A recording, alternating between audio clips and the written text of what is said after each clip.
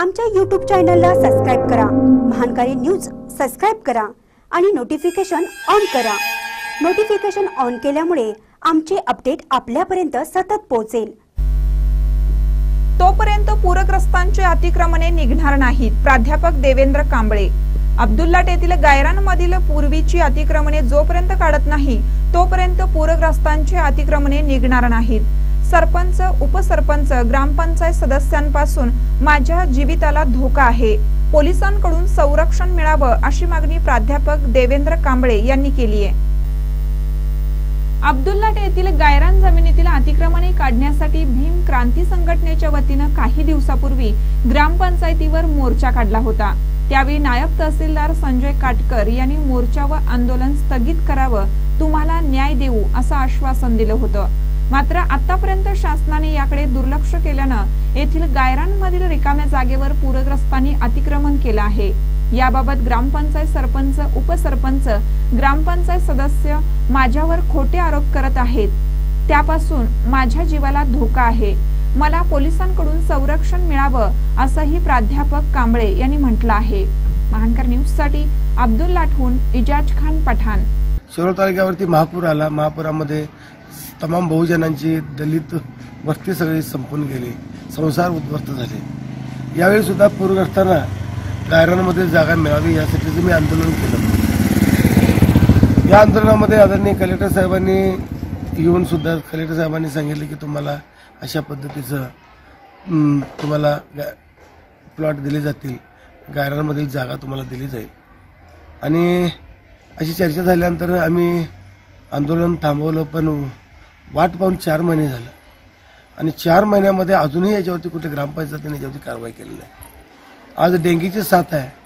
सर्वसामान्य जनता भरली जात आहे. लोकांचं जगणं मुश्किल झालेलं आहे. आणि अशा पद्धतीनं हे जनता आज अगदी होरपळून निघते या महापुराच्या या आपत्तीमुळं. यांना न्याय देणं खरं म्हणजे ग्रामपंचायतीचं काम होतं परंतु हे न्याय न देता आमची या तमाम मी एक देवेंद्र कांबळे मी सुद्धा माझं घर सुद्धा पाण्यामध्ये पूर्णपणे बेचिरेख झालं पडून गेलेलं आहे. आम्ही या भूमिकेतनं न्याय मागणं ग्रामपंचायतीकडे हे चुकीचं आहे की काय असं मला वाटू लागलेलं आहे. अन्याय करणं आम माझ्यावरती या आज लोकांनी सर्व गावातल्या तमाम सर्व जाती धर्मातील लोकांनी अतिक्रमण केलेलं आहे. का अतिक्रमण केलेलं आहे? की ह्याच्या अगोदर ज्या लोकांनी अतिक्रमण केलेलं आहे ते काढावं हे काढता आलं नाही ग्रामपंचायतीला. त्यामध्ये ग्रामपंचायत सक्षम राहिले नाही. त्यामध्ये ते पार अपयशी ठरलेलं आहे. आणि याचं खापर या ठिकाणी हे माझ्यावरती फोडण्याचा प्रयत्न झालेला आहे. त्याने हे सगळं अतिक्रमण काढून टाकावं. आणि मग आम्ही के- आमची ह्या जगभर गोरगरीब जनतेने केलेलं अतिक्रमण काढावं अशी मी त्यांना विनंती करतो. कारण आज आंबेडकरी जनता रस्त्यावरती आलेले आहे. आंबेडकरी जनतेला कुठल्या खोट्या तक्रारी देऊन किंवा खोटे आरोप करून याच्या ठिकाणी त्यांच्या या कार्यापासून त्यांच्या कर्तव्यापासून कोणीही आम्हाला परावृत्त करू शकत नाही हे आम्ही निश्चितपणे सांगू शकतो. आणि उद्या दोन ते तीन दिवसामध्ये आदरणीय कलेक्टर साहेबांच्याकडे आम्ही जाऊन या ठिकाणी त्यांना आम्ही विचारणार आहोत की आम्हाला कधी तुम्ही हे प्लॉट देणार कधी त्याचं वाटप करणार?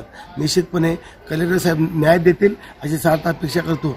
जर अशा पद्धतीनं खोट्या तक्रारी खोटे माझ्या खोट्या तक्रारी करून मला जर या आंदोलनापासून परावृत्त करण्याचा जर प्रयत्न झाला तर निश्चितपणे या तमाम अब्दुल्ला ग्रामपंचायतीच्या सरपंचापासून डेप्युटी सरपंचापासून ते त्यांचे कर्मचारी असतील किंवा त्या सर्वच यंत्रणेपासून यांच्यापासूनही माझ्या जीवाला धोका आहे हे संपूर्ण प्रशासनानं लक्षात ठेवावं आणि यांच्यापासून माझं मला संरक्षण मिळावं हेही मी पोलीस यंत्रणेला विनंती करतो.